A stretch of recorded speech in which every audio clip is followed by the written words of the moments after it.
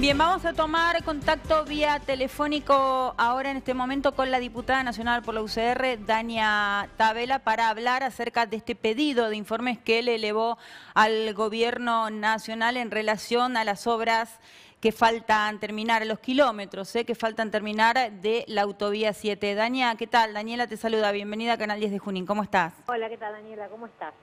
Bien, bueno, gracias por esta comunicación. Eh, no quedan muchos kilómetros, entendemos uno que va y viene seguramente eh, seguido, eh, sabe que lo que falta terminar es la variante Chacabuco, ¿no? ese tramo que va, que serán 60, 70, 80 kilómetros entre Carmen de Areco y, Chacabuco. Sí, realmente queda muy poco terminar de una obra eh, que es realmente indispensable para los vecinos y vecinas de toda esta zona del noroeste de la provincia de Buenos Aires. Eh, y la verdad que por eso la, preocupación, porque además es una obra que estaba muy avanzada, que ya realmente quedaba muy poco, y sepan que levantar una obra implica de una marcha atrás también en todo lo hecho, porque lo hecho se empieza a deteriorar eh, y va a ser un costo altísimo para, para retomarlo luego. Entonces un poco es una preocupación que compartimos con el intendente de la ciudad de Junín, con otros este, referentes e intendentes de la región eh, y nos pareció importante justamente poder ponerlo en la agenda, visibilizarlo. Hoy es un periodo de informe, seguramente forma parte también de las preguntas que le hagamos al jefe de gabinete del ministro al Congreso y por supuesto tiene que ver con, salvar vidas, ¿no? Nosotros sabemos las tragedias que hemos tenido en la Ruta 7, en particular además en en ese sector, y bueno, ha sido un reclamo de, vecinos durante años y ahora que estábamos tan cerca realmente que quede trunca esta perspectiva de determinación nos, la verdad es que nos perjudica y creemos que hay que poder resolver. Sí, realmente es una lástima, está completamente parada. Eh, hace un tiempo atrás se veía la gente trabajando, las máquinas, estamos compartiendo imágenes, hablamos de la variante Chacabuco, que todos sabemos que está retirada, sí, un poco más allá de que, no va a pasar por la entrada puntualmente de la ciudad de Chacabuco, eh, y es una pena. Eh, bueno, a ver, el presidente Javier Milei cuando asumió en ese discurso de no hay plata, dijo justamente que eh, se, se, iba a frenar la obra pública, que no iba a haber obra pública nueva, pero que la que estuviese empezada eh, probablemente eh, se iba a terminar, ¿no?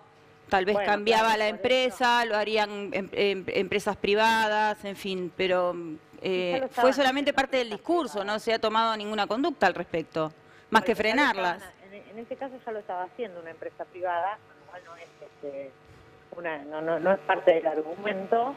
Eh, efectivamente, una obra estaba empezada y que además estaba muy avanzada. Digamos. Lo mismo ocurre con el paso a nivel, que entiendo que vas a tener algunos interesados al respecto en la ciudad de Junín. Son obras que están avanzadas, con lo cual parte de, este relato de no vamos a iniciar de obra pública nueva, no se podría entender donde el tema de necesito reducir gastos, no, se condice con frenar obras que ya venían realizándose, a las cuales en el caso de la ruta 7 que faltaba muy poco, y además son fundamentales. ¿Para qué? Para desarrollar la región, para mejorar la conectividad, la posibilidad de llevar la producción y además efectivamente de salvar vidas. Hay una insensibilidad muy grande de este gobierno con la vida de las personas. Y la verdad es que nosotros quienes vivimos en, esa, quienes vivimos en la región, necesitamos que la ruta Z se termine digamos, ¿no? Independientemente de lo mal ejecutado que han estado en otros momentos, el proceso de obras, los tiempos que lleva esta obra reclamándose y, los tiempos que ha llevado en su conclusión, hoy necesitamos que esta ruta se termine y por eso reclamo al gobierno de que efectivamente priorice la finalización de la ruta Bien, recordamos que en su momento se atrasó porque la empresa original que estaba haciendo el tramo de la variante Chacabuco había quebrado, se tuvo que llamar una nueva licitación y bueno, ahí como que se estiraron demasiado los tiempos, pero se reactivó en, un momento. Sí, pero estas cosas cuando uno hace obra pública pasan siempre, que una empresa quiebra, que otra empresa se levanta, que tiene problemas fiscales, digamos, todo esto es parte de la... De, lo normal y habitual en, en todas las obras públicas del mundo. Este, las obras este, eh, son este, algo constante donde las empresas se mantienen de manera constante y sobre todo en un país difícil como el nuestro. Ahora bien, el gobierno tiene una responsabilidad. Y para eso nosotros pagamos impuestos. No es que nos están regalando algo. Nosotros pagamos impuestos en nuestra producción, en nuestro trabajo y en nuestro consumo. Y con esos impuestos hay que financiar los bienes servicios que, que tiene que dar el Estado. Entre ellos la construcción de las rutas para que sean seguras y para que podamos seguir transportando nuestra producción. Ni más ni menos esta es la responsabilidad que tiene el Gobierno Nacional respecto de la Ruta 7 y todos los ciudadanos que vivimos en esta región. Bien, Dania, ya que estamos hablando de obras inconclusas y paradas, obras importantes, ¿eh? Eh, aquí tenemos un problema, bueno, vos vivís en Junín, sos de Junín, el, justamente el puente bajo nivel, que este, digamos, no se ha avanzado demasiado, quedó justo ahí en el medio y ha generado un perjuicio importante, sobre todo para los comerciantes que viven del otro lado. Sí, que te quedó partida la ciudad del medio, ¿no? Exacto.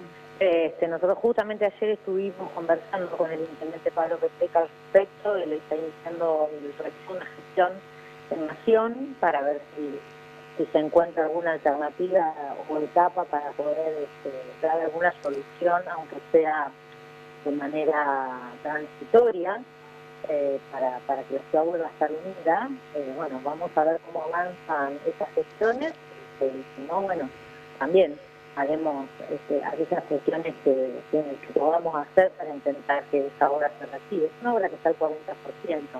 Digamos, si bien está más lejos de la finalización, eh, encontrar algún tipo de, solución al tema es fundamental. Vos tenés la ciudad partida, los comerciantes perjudicados, eh, todo lo que nos tenemos que tratar por la ciudad que da una vuelta increíble para para poder llegar al otro lado, digamos, me parece que es fundamental que encontremos alguna alternativa pero que además esto, insisto, el gobierno nacional tiene un compromiso tomado y tiene que cumplirlo, si no pareciese que los compromisos son siempre unidireccionales, ¿no? Los ciudadanos pagamos los impuestos eh, y el gobierno nacional después define en función de su, de su mirada política de las cosas que hace o no hace. Bueno, me parece que hoy eh, tiene que cumplir con la finalización de la Ruta 7 y con la finalización del Frente Bajo Nivel para que para que los que vivimos en Junín y la región estemos mejor y sintamos que nuestros impuestos eh, dan sus frutos. Bien, eh, la última y te despido, Dania. Has dicho recién que estuviste hablando con el intendente Petreca sobre estos temas. ¿Pudiste hablar sobre la terminal de ómnibus que se supone está terminada, casi terminada y va a ser inaugurada en diciembre del año pasado? ¿Qué es lo que falta? Mira, eh, entiendo que faltan terminaciones interiores, eh, ya se avanzó en el playón y en todo lo que es la rotonda y demás. Entiendo que lo que ocurre, lo que faltan son eh, terminaciones interiores para poder habilitarla. entendemos este, que, también, digamos, no hay toda una situación ahí que quedó trunca este, respecto a los compromisos que había en términos del gobierno nacional, en términos del gobierno provincial, que también van a impactar en términos de, los recursos con los que cuenta el municipio para poder afrontar esos, esos gastos, ¿sí? Me parece que, también en eso este, se va a ir avanzando, pero bueno, en función un poco de tener también toda, todo este mapa de, realidad eh, y con las prioridades y urgencias que tiene cada una de las cosas. Vos hoy tenés una terminal de micros este, que sigue funcionando. Eh, el problema del puente a bajo nivel es que vos tenés la ciudad partida y la gente no puede mover de un montón de comercios y diferentistas perjudicados con esto. Entonces, bueno, hay que ver también el sistema de prioridades que podemos dando para resolver el tema. Totalmente, Daña. Muchísimas gracias eh, por esta comunicación. muchísimas gracias a ustedes. Hasta pronto. Hasta luego.